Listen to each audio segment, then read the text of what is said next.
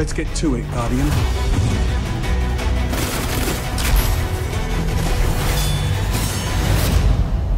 You're not brave.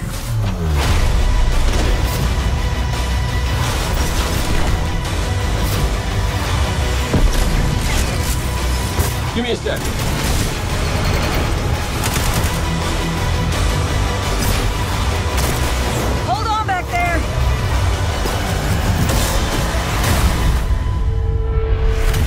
Pre-order and get open beta early access.